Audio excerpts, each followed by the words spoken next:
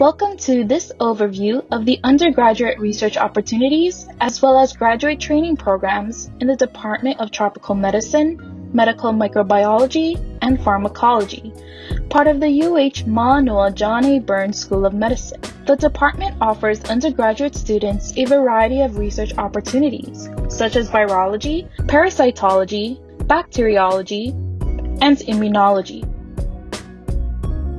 Some of our undergraduate student researchers are provided financial support and stipends for their research experience, and some of these programs are the federally supported Minority Health Research Training, or MHIRT, program in health disparities, the UH Manoa Undergraduate Research Opportunities Program, or UROP, and the Hawaii IDEA Network of Biomedical Research Excellence, called INBRE.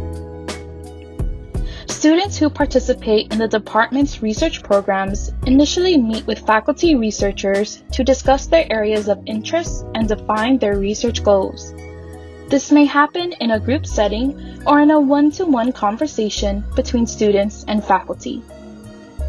Research training is intensive and, depending on the project, can include field and laboratory research skills, cultural sensitivity, health disparities among different members of the community, training in research ethics, and practical training in scientific communication, both verbal and written.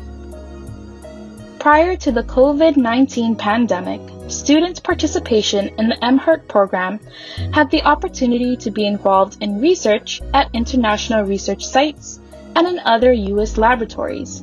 However, currently, due to travel restrictions, all student research is taking place within the state.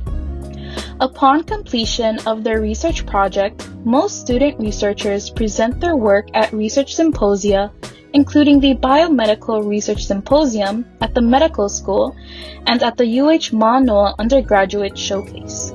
Here are some photos of some of the students who participated in the Tropical Medicine Minority Health Research Training Program in previous years. And there's me in Thailand. Although I was only there for two months, five months before that, all of us in the program would meet once a week to learn about the cultures of the different countries that we were traveling to and to learn about the different types of research occurring here in Hawaii, from bench science to community based. That's what makes this program so unique in terms of making sure we got a little bit of everything and ensuring that we were also prepared to go abroad and succeed in our research projects. Our world class research and training program offers three options for graduate study on global infectious diseases a graduate certificate, or GCERT, as well as a master's or PhD in tropical medicine.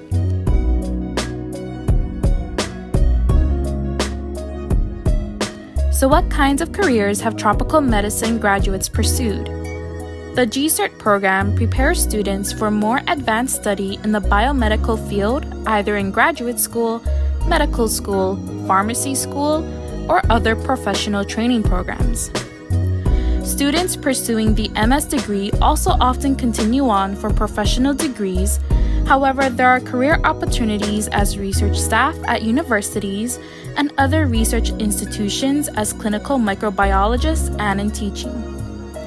And our PhD graduates pursue a wide range of professional careers in education, research, industry, government, and international health agencies. Our graduates have made lifelong friendships with each other. Today's events have increased the awareness that diseases that originate in one part of the world may easily spread globally and lead to major health, social, and economic disruption. The tropical medicine training programs prepare students for a wide range of careers dealing with the control of global infectious diseases. Please visit our website to learn more. Thank you.